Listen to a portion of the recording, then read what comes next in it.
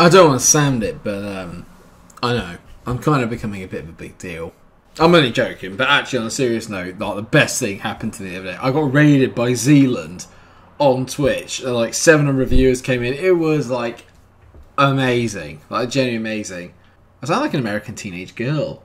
Oh my god! Like I got raided by Zealand, and it was like, oh my god, so totally amazing. It was, oh my god, you, you know, you should Oh my god, I wish you were there. But um, on a serious note, just yeah, I, I don't usually do the plugging for Twitch, but twice a week at least, sometimes three, usually Monday or Tuesday, and th- Thursday or Friday. Just keep an eye on the, the Twitter and on the um, on the Discord. Both links down in the below. Trying to get back into it, trying to get the following growing. It's growing on Twitch. Twitch.tv slash mikeromunch14. I love a shameless plug.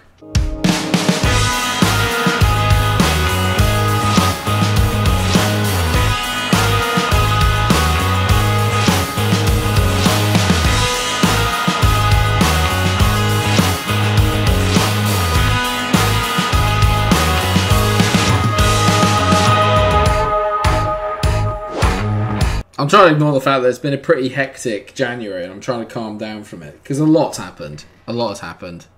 Well, I say a lot has happened. A lot's happened sort of off camera. We've had bids coming in for Ethan Pinnock, for David Raya, for Dalsgaard, for Rico Henry. There's a lot going on. I'm getting some new coaches in.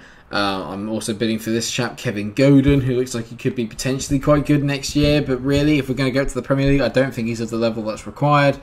I did make some sales. Um, it's safe to say it wasn't a very. Um, it was it was quite an active window in the sense that there was a lot of stuff coming in, but maybe not as much going out. I sold Tarique Fosu uh, to Bristol City for six hundred fifty thousand pounds. That one went down pretty much well.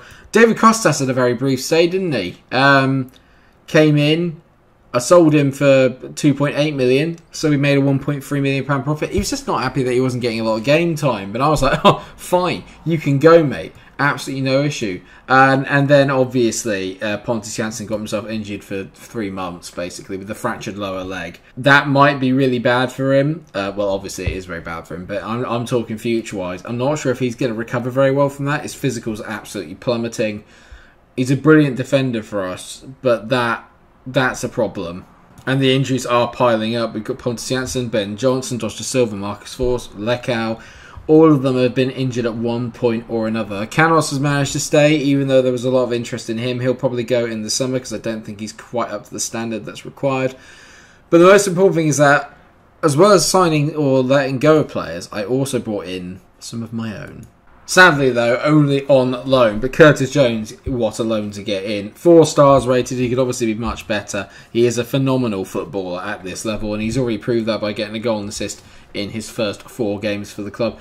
Mentally excellent, physically excellent, technically excellent. He's going to excel at this level, and he's coming for Josh Dasilva into that midfield, and he's already making a massive difference in terms of our attacking output, which I'll show you in a second. He's not the only player I bought in, though, because we touched on him at the end of the last episode, but the other player I managed to bring in, which I'm very happy about, Japhet Tanganga, another loan in from Spurs. This guy, I think I might sign for next year. He's valued a lot lower. His contract doesn't is it does expire in June 2021, but I'm not allowed to offer him one. I think I could get him on the cheap, and if I did, I think I'd be quietly quite happy. He can play all across the back four. He's obviously quite good um, in terms of all his attributes are very decent. Leadership could do a little bit of work. He's a solid defender, and I think maybe he could be very good at Premier League level. I've got to get dives into tackles out of a trait though, but other than that. I think there's quite a lot to like about him, and that 6.75 million, I might try and sign him for next season if he plays really well. And so far, so good in that respect because we've kept three clean sheets in our last four games, only conceding a consolation to Luton. Uh, we just can't beat Wycombe. We drew nil nil with them again, so that that's a thing. Don't know why. Uh, we lost to Leeds in the FA Cup 1 0, but we actually dominated the game, should have won it really. Patrick Bamford getting the goal there. Beat Reading 3 0, Reading a third. So to beat them 3 0 was very impressive. Beat Luton 3 1, beat Swansea 4 0.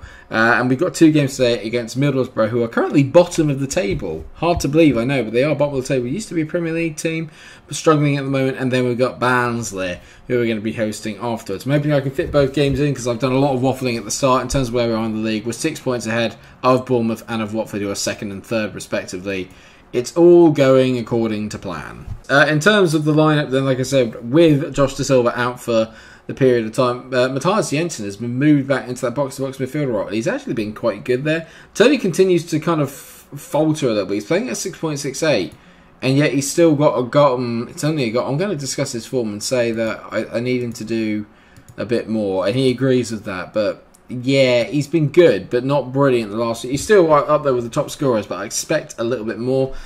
Um, really, there's only been a couple of changes to the side, mainly due to that injury process. So, Raya's in goal, Henry, Pinnock, Tanganga, and Dalsgaard now make up the back four. Yano has played quite well in that deep line playmaker cross and giving him a bit of a run in the team. Jensen's is the box to box role, like I said. Uh, Jones is playing as the advanced playmaker with Ghoddos on the left and Mbeumo on the right and Toney up front. The front three never really changes too much. So Borough are really struggling, but you wouldn't expect them to. Some of their players have got Bettinelli, they've got Dael Fry, Nathan Baker, uh, Paddy McNair, Kebano, Bolasie, Chuba Akpom. On the bench, you've got Mendez-Laing, George Saville, uh, Duncan Watmore. These are all very good players, so I am surprised they're not doing very well. But ultimately, that's not my problem. My prerogative is to get wins on the board for the bees, and let's hope that we can do that again today. As we are in our changed black kit, and the Borough are in their normal red and white. Up here in the northeast, it's always a difficult place to come, but I'm hoping that we could actually do a bit of a job on them here, keep ourselves going. They're way off as well at the bottom, actually. They're, what is it, seven points off Sheffield Wednesday. Let's not forget, start off the season with a six point deduction. I was tempted to have a think about doing them at the start of this save, um, just with the six point gap. But I thought, you know what, I don't back myself to do that. um, and obviously, it was the right decision because we're doing very well with Brentford. But ultimately, seeing Borough down there is a bit, yeah, it's worrying. It's disappointing. What's more disappointing is this first half performance where we've not really done anything as of yet. Not really got going, not really created anything. Here we go. First highlight then is Henry into Pinnock. Pinnock to Henry. Looking forward to Ghoddos over to Mathias Jensen. Now, Jensen on the ball. He's been very creative in real life, obviously, for uh, for Brentford. And he's not been as good, probably, in this save as I was hoping he would be, but we'll see how we go. Jones, lovely ball out there to Rico Henry. His delivery is always second to none. He finds Ivan Toney. It's disallowed. That, that, mm, that's, that's close. He looks, he's on side. He's on side there. That's on side. Where's the benefit of the doubt? He's definitely on side there. Our first real moment of quality, we bury it. That's a bit disappointing. And Ghoddos has got an injury. That's even more disappointing. Well, it looks like there's going to be one more highlight before the end of this uh, first half, where really we don't have a lot of highlights in our games. For a team that's so kind of like attacking and very creative, we don't have a lot of highlights. As Ivan Toney hits it, and it's a great save by Bettinelli. Ghoddos lets it go out for a corner. Great effort from Toney. Good save by Bettinelli. Good football all round, really. Well, nil at the break. I'm not really that happy. They are a team really struggling, and we should be making more of this. Um, what I'm going to do is I'm actually going to take Janelt off, and I'm going to bring on. I'm going to bring on Christian Norgard. Norgard's going to go there. So Norgard's going to move up. I'm going to get Jones playing as that shadow striker role because I reckon if I can get Curtis a bit more involved, things will happen here. Ball back to Nathan Baker. If I can just get us in behind Baker, there's definitely space in behind there because he's not a very quick player. Kebano heads it on, but only as far as Pinnock. Right, we've won the ball back. Pinnock into Ghoddos. Play the pass, son. Ghoddos plays it back to Jensen. Jensen, this has got to be a decent ball. Or you could literally just let Jick Steele just run in there and Jick steal it off you, you idiot. Yannick Bolasie, he's going to square this and it's going to go in. Bolasie squares it. Tavernier, that's an absolute load of waffle. Fua Barak Bakaru scores. Absolute waffle, lads. Ghoddos is coming off. Canos is coming on. Mbeumo's not playing very well. Kel Surprise there. I'm going to berate the team. This is not good enough. Right, Obafemi's coming on because Mbeumo has been absolutely shocking. Uh, going to move him forward. Rico Henry, move him up. Dalsgaard, move him up. We're going for it properly. I'm going to push people forward, and we're going to try and get something out of this. As Kebano gets on the ball, whips it. That is an awful bit of goalkeeping. Absolutely unstoppable from Kebano. Absolute bollocks, mate. You're talking out your ass. Kebano here. I mean, don't get me wrong. That unstoppable my ass. He's literally floated it in. It's a floater, and that's how I would describe this performance. Canos on the ball whips it in. Toney wins the header. Oh, well an Ivan Toney. It's his 21st goal of the season. You can't rule us out. You cannot rule us out. Jensen's coming off. He's not played very well. On comes Victor Lekau. He's usually the man for all seasons. Get him on attack. We're pushing forward. We're going to try and. Uh, we to get something out of this. I have to get something out of this game. Good from Tanganga into Jensen. Jensen to Curtis. Jones. Great ball over the top looking for Canos. Now this has got to be a decent ball in. Or you could just run out of play. You egg. You absolute egg.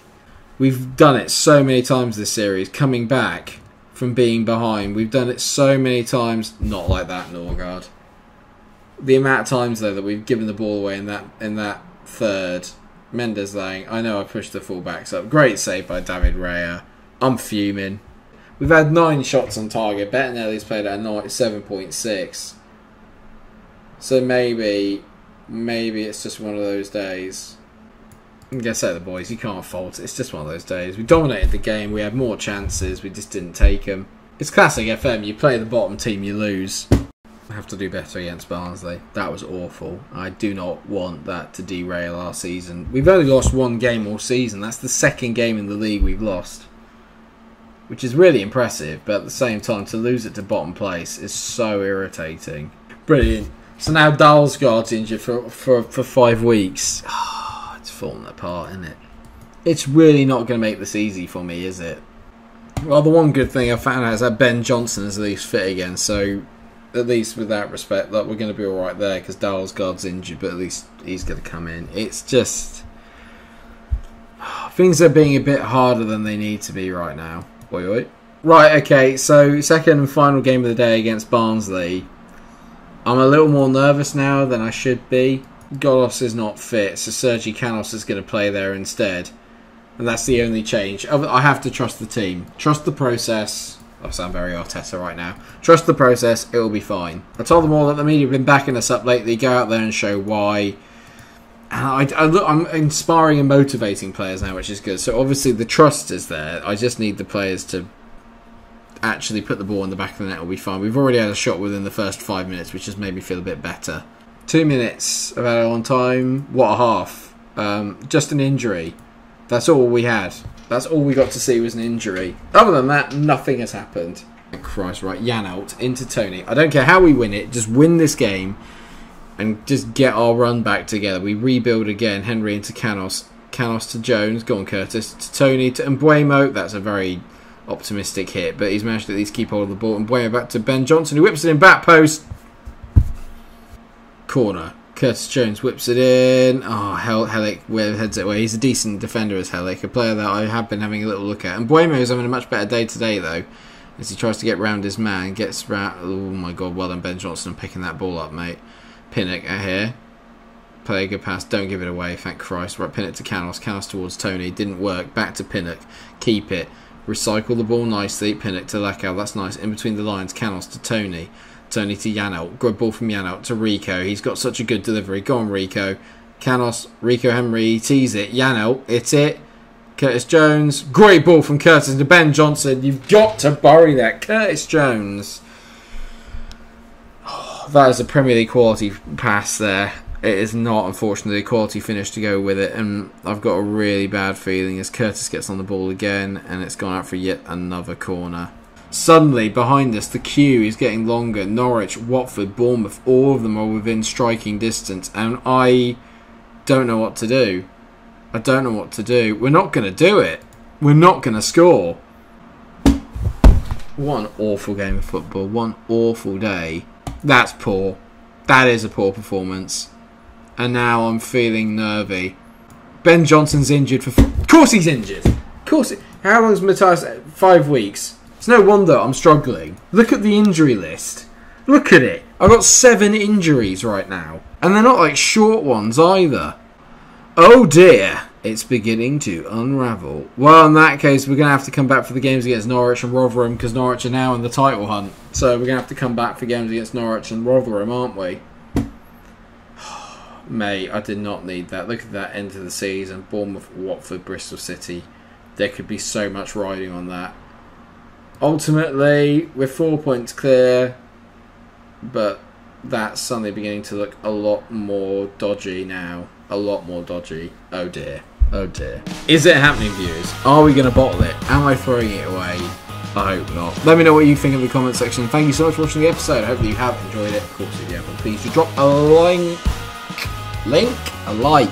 If you have enjoyed the episode, please do leave a like on the episode. Share, subscribe, and until I see you again, take care of yourselves, everyone. Deep breaths. It's about to get tense. Stay cool. Bollocks. Bollocks.